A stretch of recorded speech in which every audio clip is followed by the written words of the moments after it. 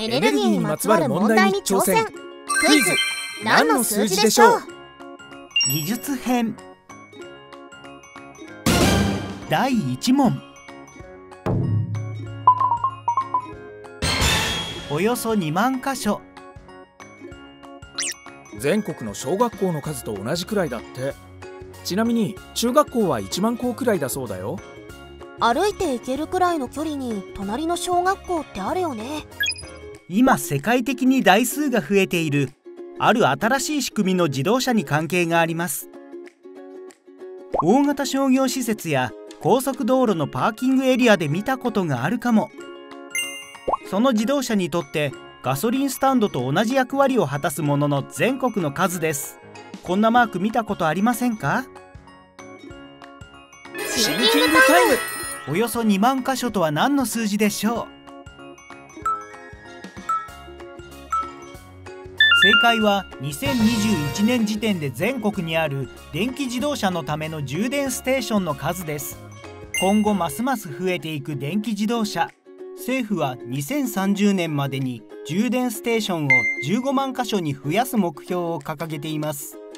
しかし電気の多くを化石燃料による火力発電に頼っている日本では電気自動車の普及が直ちに二酸化炭素の排出削減につながるわけではありません。電気自動車って最近注目のエコカーだけど普及や二酸化炭素排出削減を実現するにはまだまだ課題がありそうだね。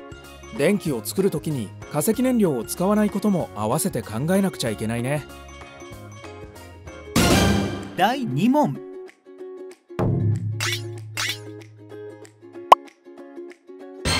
およそ43%ゆでガニの食べられる部分って半分以下らしいよ美味しいけど殻を剥くの大変だもんね。石炭火力発電に関する数字でエネルギー資源を有効活用する上で重要な指標となる数字です。昔は38%以下でした。新しい技術によってこの数字は大きくなっています。シンキングタイム。およそ43%とは何の数字でしょう？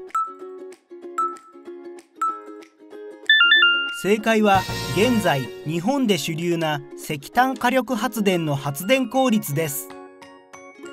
現在の日本では超長臨界圧の石炭火力発電が主流でその発電効率は世界トップレベルです。一般的な石炭火力発電では40%程度ですが我が国では超長臨界圧によって43%程度を達成しています。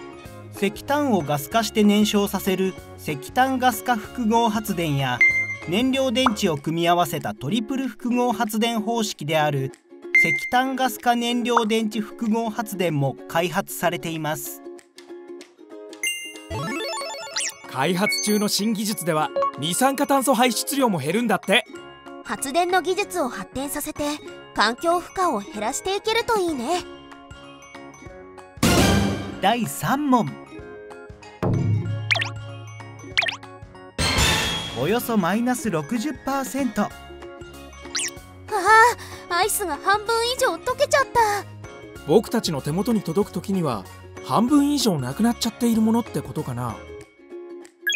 家庭に届くまでに徐々に失われていくあるものの割合です。エネルギーが変換される時はその過程でロスが発生します。その変換したものを運ぶ時もロスが発生していますシンキングタイム。およそマイナス60%とは何の数字でしょう？正解は火力発電で作られた電気が家庭に届けられるまでに失われるエネルギーの割合です。石炭天然ガスなどの一次エネルギーは発電時や送電時にその6割程度が失われています。特定のエネルギーを異なるエネルギーに100%変換することはできません。例えば発電時には未利用熱などとして失われたり送電時には電気抵抗などから徐々に失われたりしてしまい皆さんの家庭に届けられるまでに60%程度が失われています。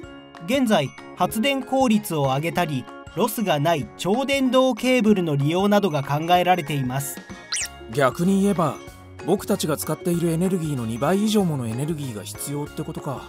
うわー無駄遣いしてたら大変なことになっちゃうね。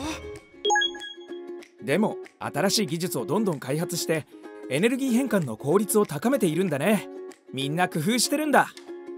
他にもどんな技術があるのか知りたいな。じゃあまたね